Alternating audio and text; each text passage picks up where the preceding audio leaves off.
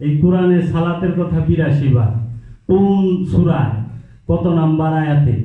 এবং কোন সালাতের কথা বলছে? বাবা যান সেটাই বলে দিছে। সমস্ত কোরআনের সুরা ফাতে হাত থেকে শুরু করে সুরা নাচ পর্যন্ত।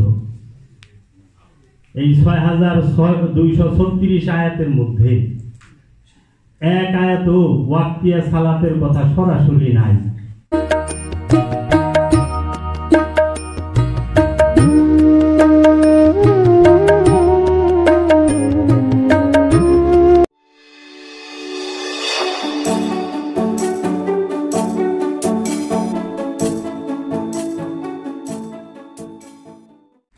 یا کہارو یا کہارو يقهار يقهار يقهار يقهار يا ميت یا نیدہ یا شبانہ یا كبانا سنتا کنتا کنتو یا کا یا کا سنتو آنے نیم باشت ان بھر رکھنا البر رکھنا و ان بھر رکھنا البر رکھنا یا جام جپنو یا کفہو یا کونہ گلیف کو یا موشم یا لزبیرہ یا اشجا شب یا بیبز بیتو یا خزیر یا عبدو ہو یا قلیم مرشد.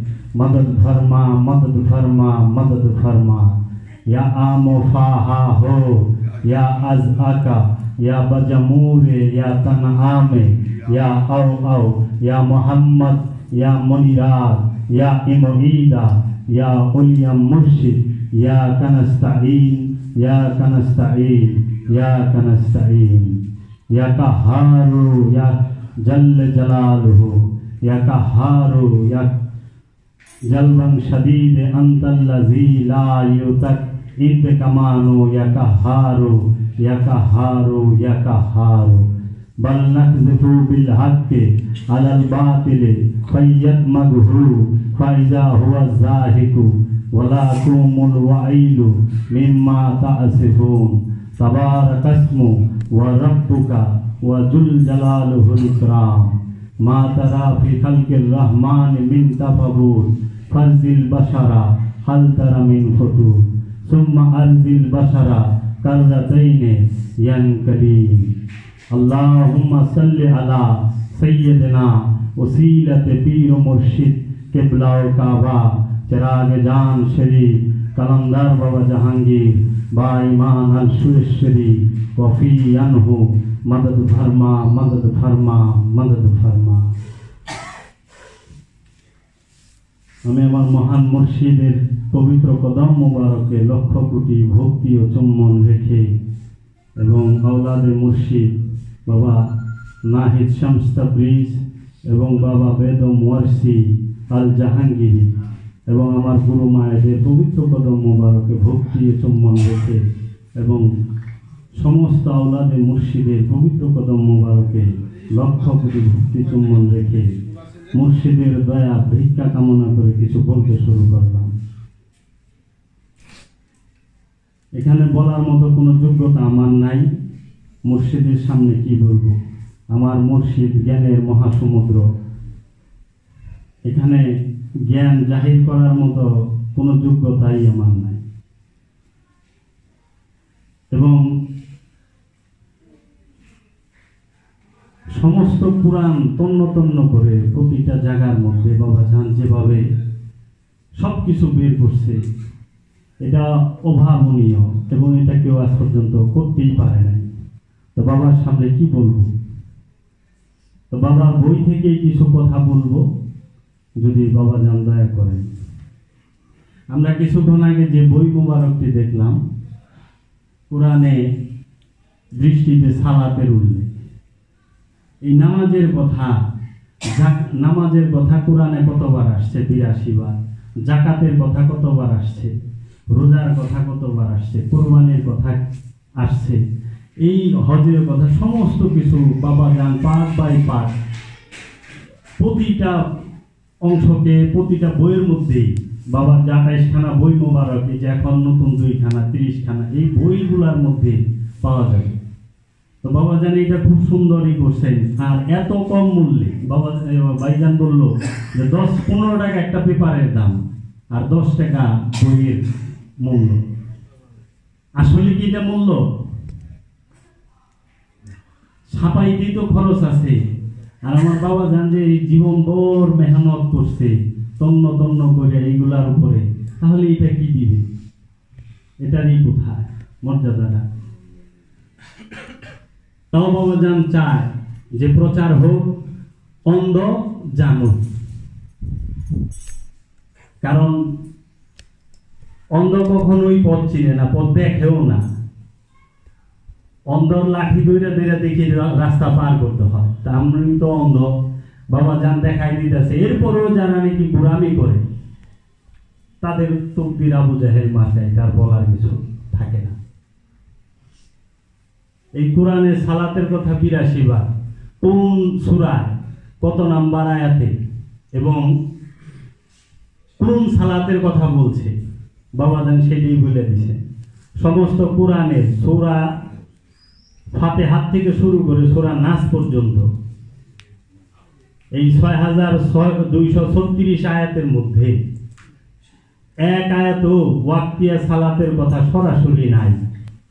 একটা আয়াত নেই। ওয়াক্তিয়া সালাতের কথা, আমরা যে বর্তমান সমাজে পাঁচ ওয়াক্ত প্রচার হয়েছে এবং চলতেছে, এইটার কথা। কিন্তু সালাতের কথা বাবা যান বলতেছেন, বিরাশি বার আছে। তাহলে এটা কোন সালাত?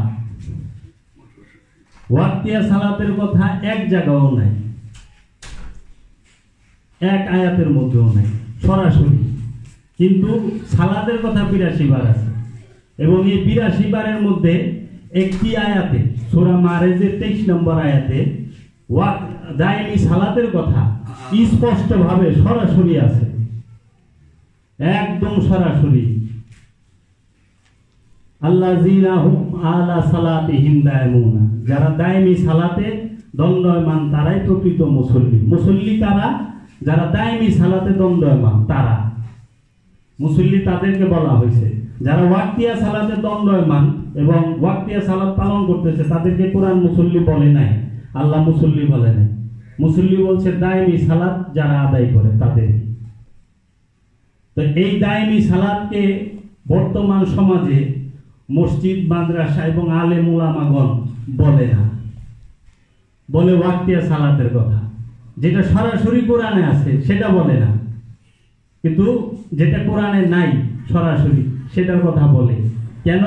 কারণ দায়মি সালাদ করতে গেলেই আল্লাহর অলি লাগে, কামেল মুর্শিদ লাগে। কামেল মুর্শিদ ছাড়া দায়মি সালাত হয় না। আর ওয়াক্তিয়া সালাত পড়তে গেলে মৌলবি লাগবে। আর মৌলবি কি নিজের বাঁচাইব?